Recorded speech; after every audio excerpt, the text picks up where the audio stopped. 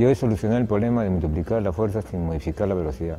Eso adaptado a cualquier forma de producción de energía abarcaría los costos y disminuiría la contaminación ambiental. Sería un proyecto autofinanciable y compatible con todos los proyectos ecológicos como los paneles solares, biocombustibles. No sería necesario hacer grandes centrales, sino mini centrales.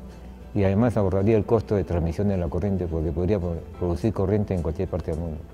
Es como cuando uno ya transcurre tiempo y tiene una dificultad, a veces uno se deprime, pero yo la dificultad saqué una ventaja. Me pude extraer para poder solucionar un problema que era mi sueño, contribuir algo al mundo para solucionar el problema del calentamiento global. El inventor tiene que trabajar en equipo, porque no, no puede trabajar individual.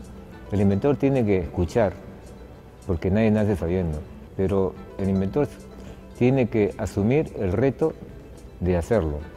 Si no cree en sí mismo, no hace nada. Si el inventor cree en sí mismo, por más errores que tenga, siempre va a aprender. Pero lo más importante de un inventor es la constancia. Si no hay constancia, no hay inventores. Cuando uno se enamora de algo y le agarra cariño, se enciende una pasión incontrolable por tratar de combinar las cosas.